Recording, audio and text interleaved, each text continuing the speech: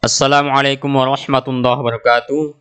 Teman-teman sekalian, pada kesempatan ini kita kembali lagi latihan i'rab yaitu menganalisa kalimat bahasa Arab mengapa barisnya fathah, dhamma atau sukun.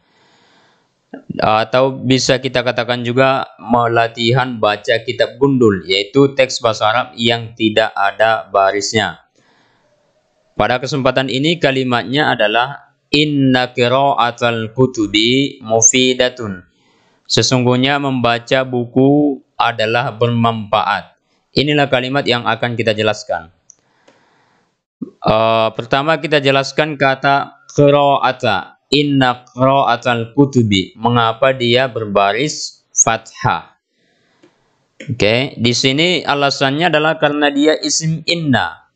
Uh, inna qira'atal kutubi. Qira'ata dibaca fathah Nah, ini karena dia isim inna.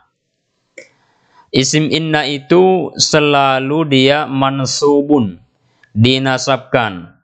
Nah, kita ulangi lagi dalam i'rab itu kan dalam nah, ilmu nahwu itu ada yang namanya i'rab. I'rab itu terbagi menjadi empat atau ada empat macam. Yang pertama marfu'un, kemudian mansubun, kemudian majazumun, kemudian majarur. Nah, kalau dia isim inna, maka dia harus mansubun. Jangan kita bilang marfu'un, salah. Yang betul adalah mansubun atau dinasabkan. Karena kerja inna ini adalah menasabkan isimnya dan merofakkan kabarnya. Nah, pada kalimat ini kiro'ata yang menjadi isim inna, maka dia mansubun. Lalu tanda nasabnya di sini kita buat fathatun. Nah, fathatun. Inna qira'ata. Ini ta huruf terakhir berbaris fathah, harokat fathah. Alasannya adalah karena uh, dia isim mufrad, kata yang menunjukkan tunggal. Nah, jadi setiap isim mufrad itu tanda nasabnya adalah fathah. Coba kita ulangi dari awal. Inna qira'atal kutubi mufidatun. Sesungguhnya membaca buku adalah bermanfaat. Qira'ata pada kalimat ini adalah isim inna. Karena dia isim inna maka dia harus mansubun, dinasabkan. Karena kerja inna itu adalah menasabkan isimnya dan merofakkan khobarnya. Lalu tanda nasabnya kita pilih, kita pilih fathah. Nah, baris fathah atau harokat fathah. Sebenarnya tanda nasab itu bukan hanya fathah, ada lagi tanda yang lain seperti alif atau ya. Namun pada kesempatan ini kita pilih dia fathah karena qira'ata, jenis kata qira'ata itu adalah isim mufrad, kata yang menunjukkan tunggal. Itulah alasannya kita baca inna qira'ata. Selanjutnya kita jelaskan kata al-kutubi. Inna qira'atal kutubi mufidatun. Mengapa al-kutubi huruf terakhirnya ba berbaris atau berharokat kasro? Nah, kita lihat alasannya. Nah, di sini pada kalimat ini dia adalah sebagai mudhafun ilai. Mudhafun ilai. Nah, qira'atal kutubi ini mudhafun ilai. Kalau mudhafun ilai itu pasti majarur. Pasti dijarkan. Karena dalam bahasa Arab itu yang dijarkan itu adalah yang mudhafun ilaih atau masuk huruf jar padanya. Nah, jadi setiap mudhafun ilaih maka dia majarul. Jangan kita sebut marfu'un, mansubun, apalagi majazumun. Itu sangat-sangat salah.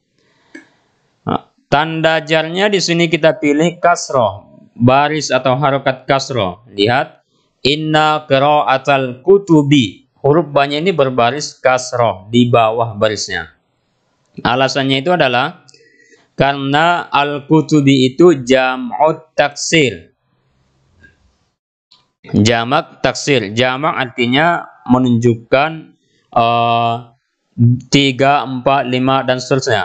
Sedangkan at-taksir itu maksudnya bahwa jamak ini diambil dari uh, isim mufrad tetapi uh, huruf-huruf isim mufradnya itu uh, terjadi perubahan. Misal al-kutubi ini artinya buku, mufradnya itu adalah kitabun. Nah, di sini sudah hilang uh, huruf alif yang ada pada mufrad yaitu kitabun. Setelah ta itu ada huruf alif, tapi di sini ketika jamak taksir sudah hilang, maka dia disebut dengan jamak taksir. Uh, kata yang menunjukkan tiga, empat, lima dan seterusnya, tetapi ada perubahan pada huruf isim pada huruf uh, isim mufradnya kitabun menjadi kutubun. Uh, hilang huruf alifnya yang ada pada isim mufrad. Kita ulangi inna qira'atal kutubi mufidatun sesungguhnya membaca buku bermanfaat. Al kutubi pada kalimat ini adalah mudhafun ilaih. Karena dia mudhafun ilaih maka dia majrurun. Tanda jarnya kita pilih kasroh. Alasannya karena al kutubi adalah jam'ut taksir. Lanjut kita akan menjelaskan kata mufidatun. Inna qira'atul kutubi mufidatun. Kata mufidatun pada kalimat ini adalah khabar inna. Khabar inna bukan khabar mubtada. Khabar inna itu selalu marfu'un. Karena inna kerjanya adalah menasabkan isimnya, merofakkan khabarnya. Maka dia marfu'un. Di sini tanda rofaknya kita fi, kita pilih dia baris atau harokat domma. Mufidatun dommah dibuat. Alasannya adalah karena dia isim mufrad. Jadi setiap isim mufrad itu tanda rofaknya adalah domma. Coba kita ulangi. Inna qira'atal kutubi mufidatun. Membaca buku bermanfaat. Mufidatun pada kalimat ini adalah khabar inna karena dia khabar inna maka dia harus marfu'un.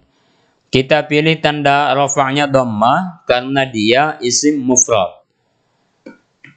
Oke, ini ada beberapa contoh yang semisal dengan uh, kalimat yang kita jelaskan di atas. Inna abawabal masjidi maftuhatun. Sesungguhnya pintu-pintu masjid terbuka. Abawaba mansubun, makanya dia fathah, tanda nasabnya fathah karena dia isim inna dan tanda nasabnya fathah karena jamak taksir. Al-masjidi dia kasroh karena majarur. Dia majarur karena dia mudhafun ilai. Maftuhatun ini khabar inna maka dia marfu'un tanda rafa'nya dhamma. Innal Qur'ana kalamullah. Sungguhnya Al-Qur'an adalah kalam Allah. Al-Qur'ana ini isim inna maka dia mansubun tanda nasabnya adalah fathah karena isim mufrad. Kalamullah, kalamu, dhamma. Oh, dia marfu'un karena dia adalah khabar inna dan dia tanda rafa'nya dhamma karena dia isim mufrad. Allahi ini kasra karena dia mudhafun ilaih. Inna baital mudarrisi ba'idun. Baita ini isim inna maka dia mansubun tanda nasabnya fathah karena dia isim mufrad. Al mudarrisi ini uh, mudhafun ilaih maka dia majrur tanda jarnya kasrah. Ba'idun ini khabar inna maka dia marfu'un tanda rafa'nya dhamma karena dia isim mufrad. Demikianlah materi kita pada kesempatan ini mudah-mudahan bermanfaat. Assalamualaikum warahmatullahi wabarakatuh.